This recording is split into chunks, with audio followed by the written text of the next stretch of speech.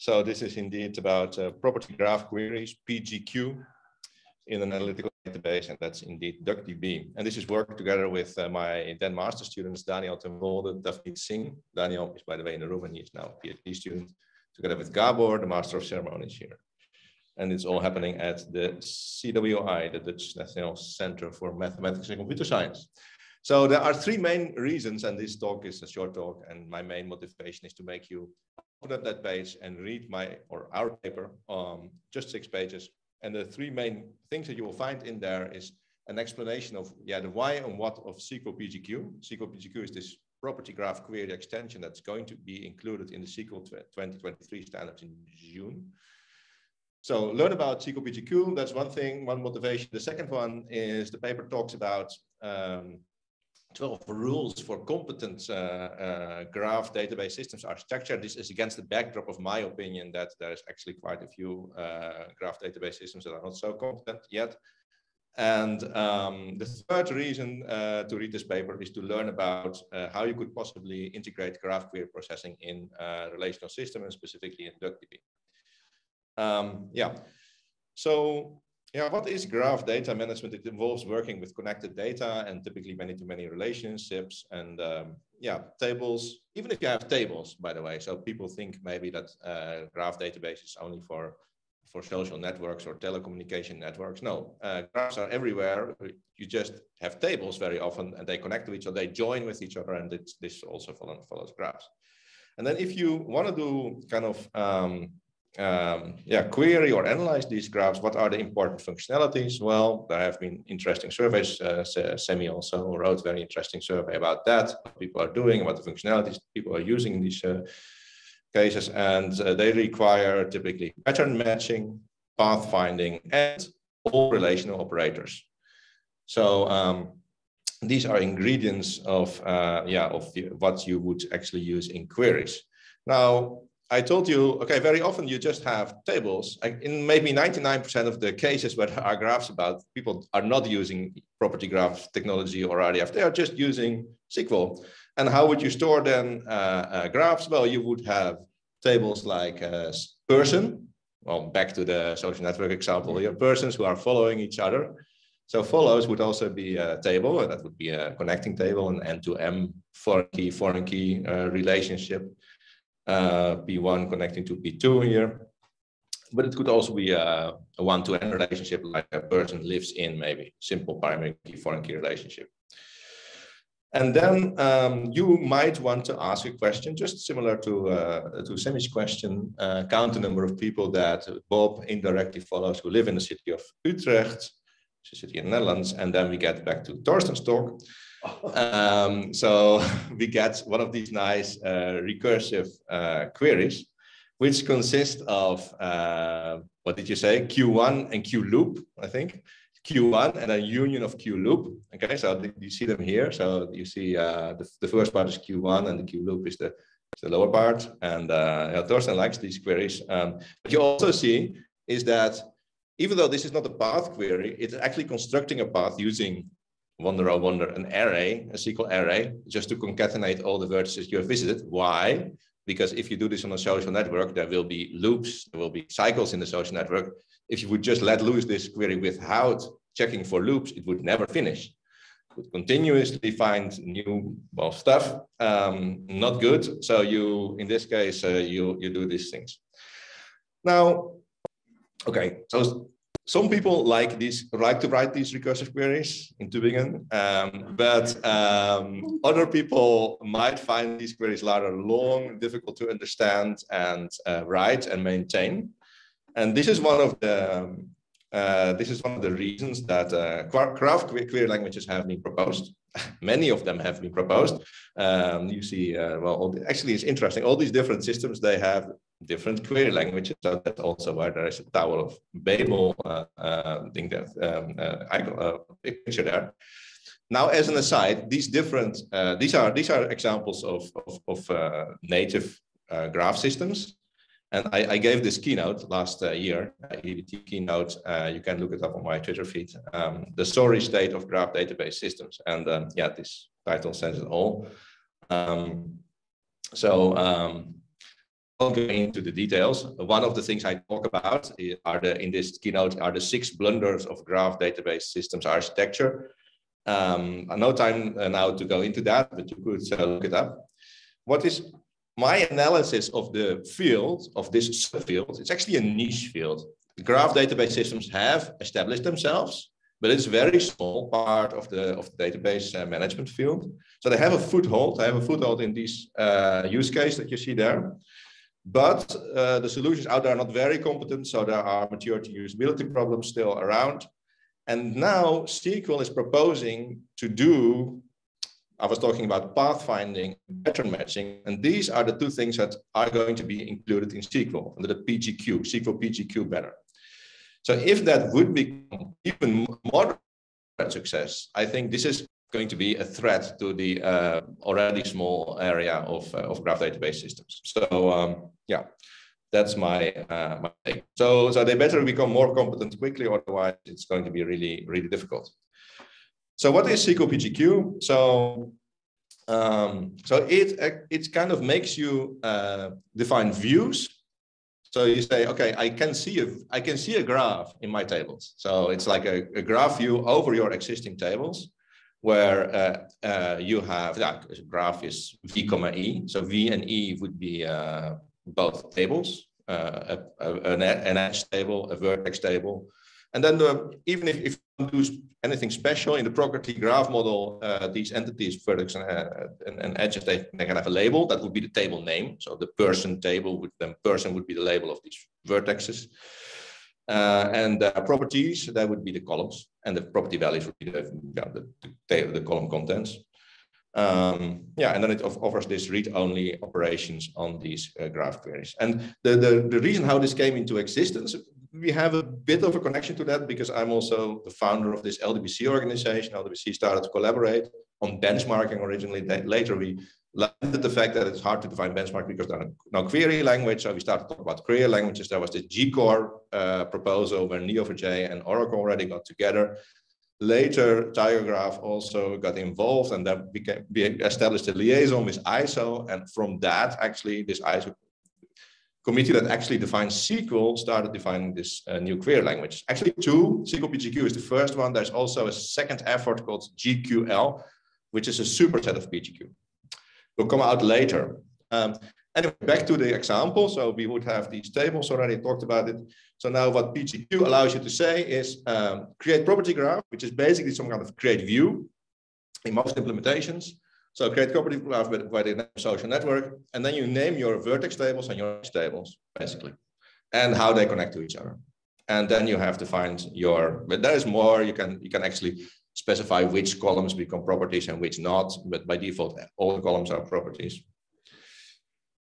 Okay, so now if we go back to uh, the example query, how would you express it? Well, in much shorter text, of course. Um, you see there, um, okay, what's interesting, so match, and match is like this Cypher-like uh, Cypher-like syntax. The, the round uh, parentheses, they are, they match nodes, so, so vertexes and the square ones, they match edges. And you also see Kleene star there, the follows star. Actually, the star is outside. in Cypher, it's inside, but okay. Um, and so this is like a match clause. And what it will give you, it will give you bindings of these variables, P1 here and uh, C and P2.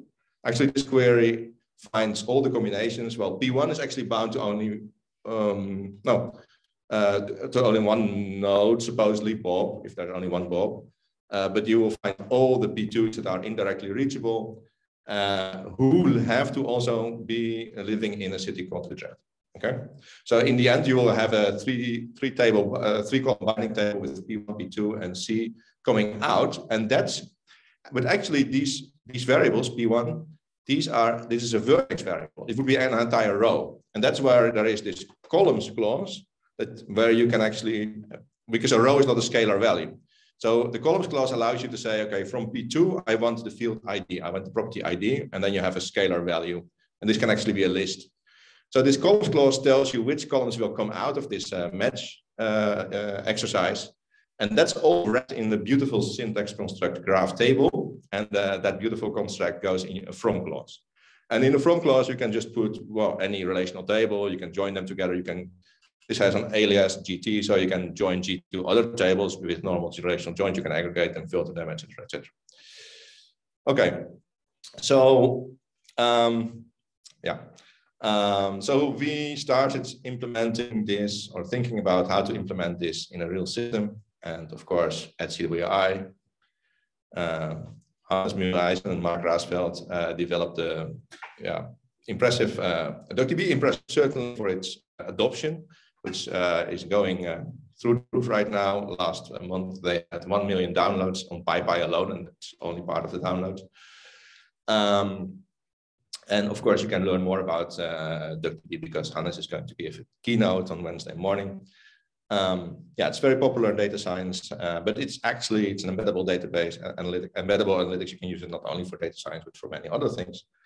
Uh, there is also two startups, uh, CWI, uh, Hannes and Mark started uh, the Lab, spin-off. Uh, and we also kind of helped create uh, MotherDuck, uh, which is a new startup in the United States that just got uh, funded. And um, I will be actually spending a sabbatical in the next six months. Um, yeah, so, there's, so, there's, all kinds of things uh, happening around uh, DuckDB, but one of them is this uh, integration of PGQ. And our strategy here is not to make it a core feature of DuckDB, but actually leverage the extensibility features of DuckDB. I kind of talked over it. DuckDB, DuckDB allows scalar uh, the use-defined functions, parser extensions, but also scan, new formats, scans for new data formats, and table returning functions. So DuckDB has quite a few extensibility features already. You can make extension modules. We're going to use the parser extensibility and scalar UDF specifically. So what happens is that uh, when you do this uh, new uh, parser extension, there creates a property graph statement. Uh, we'll add metadata. We'll just remember this view. Um, and then when a query comes, um, this uh, query is actually translated. We translate this query, which is SQL PGQ query, SQL with the PGQ extension, into a SQL query without PGQ extension, but that calls some specific UDFs that we have added to the system. And that way, uh, this uh, module can remain relatively independent of the core, uh, core DuckDB um, uh, repo, which is a very, very fast moving repo, by the way. So um, we did not want to fork DuckDB, for instance. So one of the things that happens in the for pathfinding, well, actually for pattern matching, we currently just rely on relational pattern matching. So we translate pathfinding to joins. Okay, obviously, eventually we want to have advanced joins algorithms like worst case optimal joins like Kuzu has. Uh, but we have, don't have those yet. Uh, for path finding, so for finding the shortest path or the weighted shortest path, we actually construct an, an, a CSR, which is this vertex array and edge array that positionally point to each other. So it's a very compact representation of a graph we use uh, scalar UDFs for that. The nice thing about using scalar UDFs, it's a simple solution and it gets automatically parallelized because scalar UDFs are so simple. Uh, you just get DuckDB parallelism out of those. Um, yeah, and, um, and, and this is then created on the fly. Then this is also very update unfriendly. This is a very dense data structure and array. You cannot really update it, but because it's created on the fly, we don't need to update it. Uh, and then we run this MSBFS algorithm that was invented at TU Munich uh, at some point um, on this. And the gist of this uh, algorithm is a very fast, low overhead um, uh, pathfinding algorithm that, that keeps state. So for every search, so like if you just do a breadth first search, you need to remember one thing, one bit, which is have you visited this vertex, yes or no. So for every vertex, it has one bit. But the gist of MSBFS is that it then says, oh, now we can actually do parallel via uh, searches, not one search, but we can do 512 searches in by keeping 512 bits in one register. Okay? So then you can do 512 searches and you share memory access. So the memory access that you do navigating the, the, the graph structure, you do not, now do not do it for one search, but you do it for 500 searches. So you do 500 times less potentially of it. And you also leverage these SIMD instructions that, uh, that are quite powerful uh, in modern CPUs. So it's about like you, uh, this search, where this start here? So it initializes two starting positions. Uh, it has a visit and a scene array. So visit is what you have to do next and scene is what you've seen already. and at every iteration you you set new bits. Okay, and but this happens completely well in one integer really. Uh, that's one very wide SIMD integer. So the slide that says last slide. Um, okay, so what should you really remember from this talk? Um, maybe not so much, just that you are going to read this paper. Uh, and why would you read this paper? Well, in less than one page, it explains you what SQL PGQ is. And you should be thankful to us because we read the spec. The spec is already 200 pages. You have to piece the meaning. It's kind of Oracle style uh, formulated uh, spec text. Um, so it's, I think, way more, uh, well, way faster to just read this one page. The second reason is that I have these 12 golden rules that came out of my EDBT rant uh, on, on, on competent graph database systems, and they are also summarized and motivated in this paper. And you can also yeah, see how we, uh, we are leveraging DuckDB extensibility for this, uh, for this project. Is it available already? No, we are working on it. SQL 2023 is not available either yet, but we hope, we hope to make it available when that is launched. Uh, may or may not that, and there is many avenues for future graph database systems research. Well, factorized query execution, factorized but then a VE, worst case optimal uh, joins and their optimization. It's actually non-trivial to integrate these in the arsenal of join algorithm in a sensible way because you also need statistics and good query optimization for that. And uh, there's also lots of things to do in pathfinding, optimizing, uh, integrating pathfinding and query optimization and better parallelism pathfinding. And that, that's all I have. Thank you. Thank you.